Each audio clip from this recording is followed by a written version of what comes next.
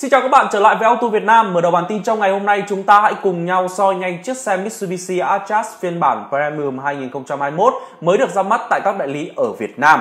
Xem là mẫu xe này có gì nổi bật để so sánh với các đối thủ ở trong phân khúc. Ngày 23 tháng 2 vừa qua thì Mercedes-Benz đã cho ra mắt chiếc xe C-Class 2022 có hai biến thể là sedan và wagon, có thể sẽ cập bến tại thị trường Việt Nam trong thời gian sớm nhất. Ford Escape 2021 được bổ sung thêm phiên bản Hybrid ở tại thị trường Mỹ Bên cạnh đó thì Ford tiếp tục cho ra mắt online chiếc xe SUV không phải là 7 chỗ mà là 6 chỗ Explorer King Gen. Tất cả sẽ có trong bản tin news số 10 của Auto Việt Nam. Đừng quên ủng hộ chúng tôi bằng cách nhấn vào nút like và đăng ký theo dõi kênh nhá. Xin chân thành cảm ơn.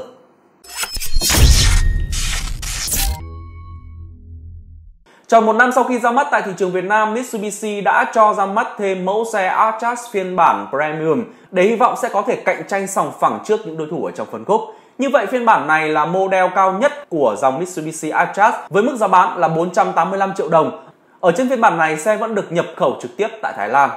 Xét về mức giá bán trên thì tôi cho rằng mẫu xe của thương hiệu Mitsubishi trên thực tế chỉ ngồi chung mâm với Kia Soluto và các phiên bản tiêu chuẩn của những đối thủ.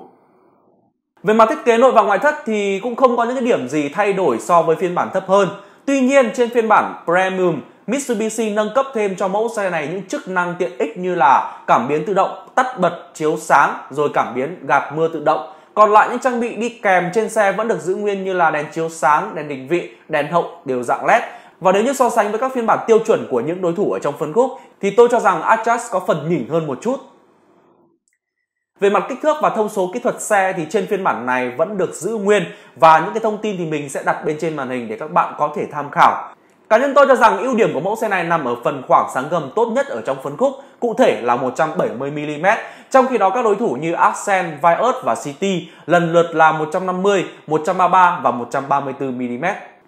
Bán kính quay vòng chỉ là 4,8m trong khi đó các đối thủ đều trên 5,1m, giúp cho mẫu xe của thương hiệu Mitsubishi có khả năng xoay sở linh hoạt tốt hơn khi di chuyển ở trong phố. Bên trong nội thất xe cũng không có những điểm gì thay đổi so với phiên bản thấp hơn. Xe vẫn được trang bị màn hình thông tin giải trí 6,8 inch, có khả năng kết nối với Apple CarPlay, Android Auto. Bên cạnh đó, những trang bị tiện ích nổi bật như là nút bấm khởi động Start Top, chìa khóa thông minh, xét cao tốc độ và điều hòa tự động cũng là những điểm mà tôi luôn đánh giá rất cao mẫu xe này, mặc dù đang có một cái mức giá thấp hơn rất nhiều so với những đối thủ. Ở trên phiên bản Premium đã được nâng cấp thêm những chức năng an toàn rất quý giá như là bổ sung thêm hệ thống cân bằng điện tử, hệ thống hỗ trợ khởi hành ngang dốc, hệ thống hỗ trợ lực phanh khẩn cấp. Tuy nhiên, điều mà tôi cảm thấy thất vọng trên chiếc xe này đó là xe vẫn chỉ được trang bị hai túi khí mà thôi.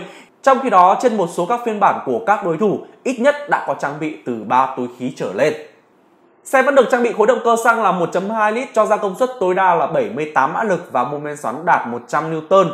Về phần vận hành thì Atlas yếu thế hơn hẳn so với các mẫu xe hạng B còn lại trong phân khúc.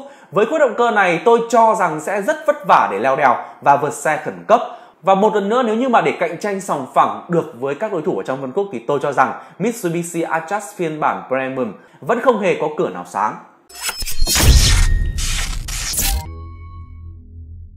Mặc dù là một trong những chiếc xe nằm trong phân khúc hạng sang cỡ nhỏ, tuy nhiên thì Mercedes-Benz C-Class 2022 nhận được rất nhiều nâng cấp, không hề thua kém đàn anh S-Class.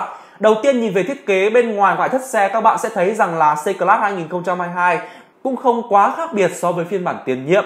Hầu hết những chi tiết nâng cấp đều chủ yếu tập trung nằm bên trong khoang lái. Điểm nhấn duy nhất ở phần phía bên ngoài ngoại thất xe nằm ở cụm đèn hậu phía sau được thay đổi thiết kế, có cách tạo hình mới. Mặc dù không ấn tượng cho lắm, tuy vậy thì đây cũng là một trong những cái sự thay đổi để giúp cho các bạn có thể dễ dàng nhận biết giữa phiên bản cũ và phiên bản mới. Với thiết kế lấy cảm hứng từ dòng xe đàn anh S-Class, uh, C-Class thì được trang bị màn hình trung tâm giải trí 11,9 inch và màn hình tablo 12,3 inch Vô lăng được làm theo dạng thể thao, được cắt rất ăn nhập với những khe gió điều hòa được thiết kế theo kiểu dạng hình oval trông rất ấn tượng. Bên cạnh đó thì phần ghế ngồi cũng được làm ôm lưng hơn và sử dụng nội thất màu cà phê, mang đến không khí rất thể thao. Tôi cho rằng với những thiết kế mới bên trong khoang nội thất xe thì C-Class chắc chắn sẽ làm hài lòng những đối tượng khách hàng là trẻ, cần đến một mẫu xe có mức giá bán mềm nhưng vẫn hội tụ đầy đủ những yếu tố như là thể thao, hiện đại và sang trọng.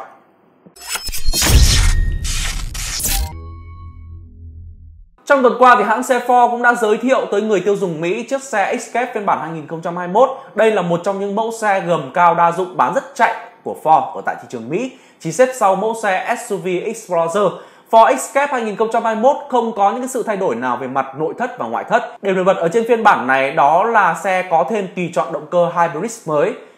Cụ thể các phiên bản của Ford Escape mới nay có thể được trang bị thêm cấu hình động cơ hybrid.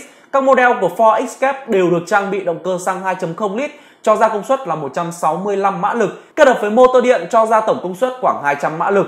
Đi kèm với cung hộp số vô cấp CVT, trên biến thể Hybrid có thể sẽ được trang bị hệ thống dẫn động 4 bánh toàn thời gian thay vì sử dụng hệ thống dẫn động cầu trước.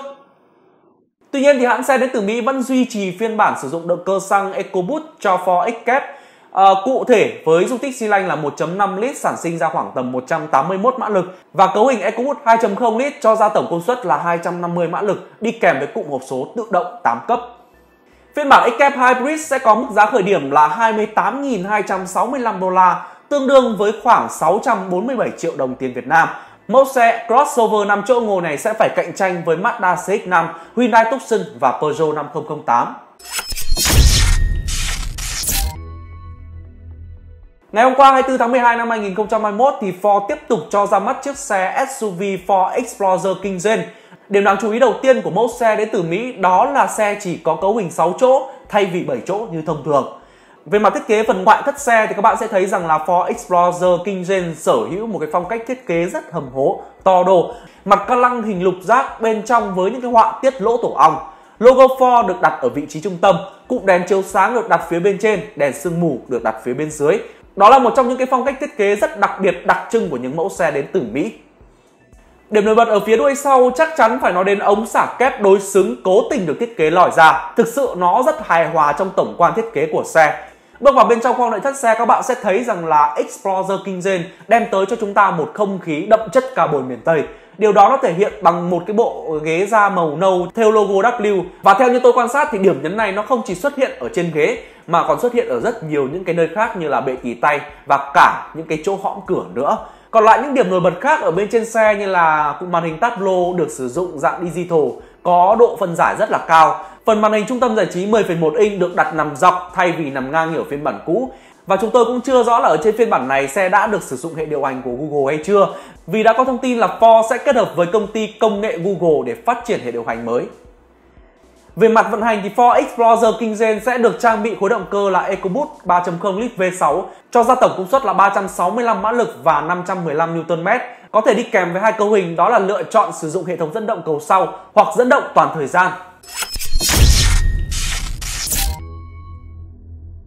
Vừa rồi là bản tin news số 10 của Auto Việt Nam. Cảm ơn các bạn đã tham gia theo dõi. Xin chào và hẹn gặp lại ở những bản tin tiếp theo.